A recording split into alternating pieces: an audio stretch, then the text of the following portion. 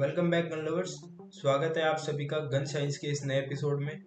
आज हम बात करेंगे गन से रिलेटेड एक बेसिक टॉपिक के बारे में, जो है कि असॉल्ट राइफल्स और सब मशीन गन्स में क्या डिफरेंस होता है। आप सभी ने दोनों के बारे में सुना ही होगा, और रियल में ना ही सही, कम से कम वीडियो गेम्स में तो इन दोनों कैटेगरीज की गन्स को चलाया भी हुआ बट क्या आप लोगों को इनके बीच का डिफरेंस पता है?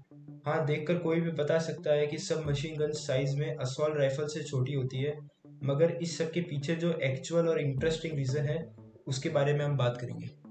सबसे पहले बात करें हिस्ट्री की तो देखिए सब मशीन गन्स को असॉल्ट राइफल से पहले डिज़ाइन किया गया था। एक्चुअली वर्ल्ड वॉर वन के दौरान armies generally bolt action rifles और मशीन गन्स वगैरह यूज़ किया करती थी। पर क्लोज क्वार्टर कॉम्बैट यानी कि शॉर्ट रेंज पर होने वाली लड़ाई के लिए आर्मीज पिस्टल्स और कुछ पंप एक्शन शॉटगन्स के अलावा कुछ अच्छे वेपन्स ढूंढ रही थी, जो कि फुल ऑटोमेटिक फायर कर सके। वेट में लाइट हो और जिनका रिकॉइल फुल ऑटोमेटिक फायर होने के बावजूद भी कम हो, जिससे कि एक आदमी आसानी से ऑपरेट कर सके।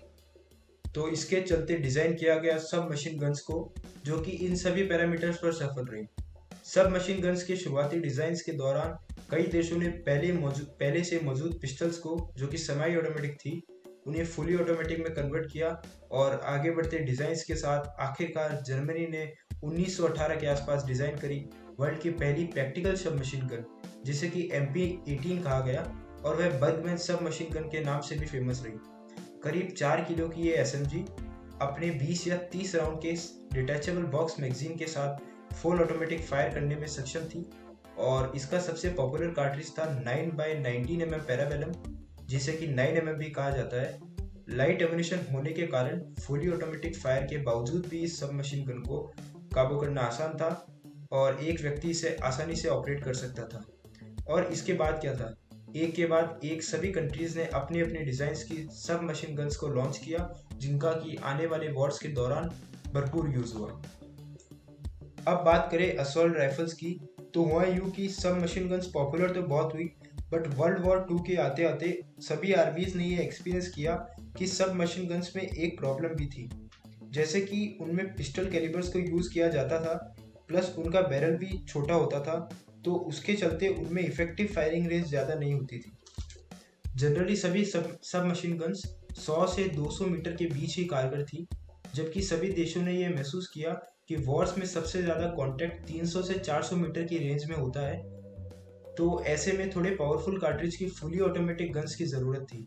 उस समय पावरफुल कार्ट्रिजेस की सिंगल शॉट या सेमाई ऑटोमेटिक राइफल्स तो मौजूद थी बट उन गन्स को फुली ऑटोमेटिक बनाना प्रैक्टिकल नहीं था, क्योंकि उनमें यूज़ होने वाले फुली पावर्ड कार्टेजेस को फुल ऑटोमेटिक गन में एक आदमी के लिए एक्यूरेटली यूज़ करना बहुत मुश्किल था, क्योंकि उनका रिकॉइल बहुत ज़्यादा था। तो ऐसे में डेवलप किए गए कुछ ऐसे कार्टेजेस जो कि सब मशीन गन्स में यूज़ होने वाले पिस्टल कार्टेजेस से तो पावरफुल थे बट स्टैंडर्ड राइफल कार्टेजेस से कम पावरफुल थे, ताकि फुली ऑटोमेटिक फायर में रिकॉइल को कंट्रोल किया जा सके। ऐसे कार्टेजेस को टर्म दी गई इंटरमीडिएटली पावर्ड कार्टेजेस आगे बढ़ने से पहले एक बार हम देख लेते हैं इन तीन तरह के कार्टेजेस के बारे में। सबसे पहले आते हैं पिस्टल कार्टेजेस जो कि पिस्टल्स और सब मशीन गन्स में यूज़ होते हैं। इनके एग्ज़ाम्पल है nine by nineteen M M Luger और forty five A C P फिर आते हैं इंटरमीडिएटली पावर्ड कार्टेजेस जो कि पिस्टल कार्टेजेस से बड़े और पावरफुल होते हैं और इनकी फायरिंग रेंज भी ज़्यादा होती है। बट फिर भी इनका रिकॉयल कंट्रोल करना मुश्किल नहीं होता। इन कार्टेजेस को जनरली असॉल्ट राइफल्स में यूज़ किया जाता है और इनके एग्ज़ाम्पल है seven point six two into thirty nine M M जो कि वर्ल्ड फ़ेमस ए के फोर्टी सेवन का कार्टेज है। उसके अलावा कुछ पॉपुलर एग्ज़ाम्पल है five point five six into forty five M M NATO और five point four five into thirty nine M M फिर आते हैं फुल साइज़ राइफल कार्टेजेस जो कि इंटरमीडिएटली पावर्ड कार्टेजेस से भी बड़े और पावरफुल होते हैं। इन्हें generally bolt action rifles light machine guns और कई स्नाइपर राइफल्स में भी यूज़ किया जाता है। ऐसा नहीं है कि इन कैलिबर्स को ऑटोमेटिक राइफल्स में यूज़ नहीं किया जाता बट फिर उन गन्स का रिकॉइल बहुत ज़्यादा होता है। इन कार्टेजेस के एग्ज़ाम्पल है 7.62 point six two into fifty one M M NATO और 7.62 point six two into fifty four M M R तो आखिरकार डिज़ाइन शुरू हुआ असोल्ट राइफल्स का। जिसके लिए किसी गन में ये कुछ कैरेक्टरिस्टिक्स होनी ज़रूरी थी। सबसे पहली, कि गन सेलेक्टिव फायर के केपेबल होनी चाहिए, यानी कि उसे सेमी ऑटोमेटिक और फुली ऑटोमेटिक दोनों ही मोड्स में कन्वर्ट किया जा सके। सेकेंड पॉइंट था, कि गन इंटरमीडिएटली पावर्ड कार्टेजेस को फायर करने के केपेबल होनी चाहिए, जिनके बारे में हमने अभी अभी देखा। और थर्ड पॉइंट है, कि एम्यूनेशन के लिए गन में बॉक्स मैगजीन का यूज़ किया जाए, न कि बेल्ट फेड जैसा कि मशीन गन्स होती है। और फोर्थ पॉइंट था कि उस गन की effective firing range more than 300 metres होनी चाहिए।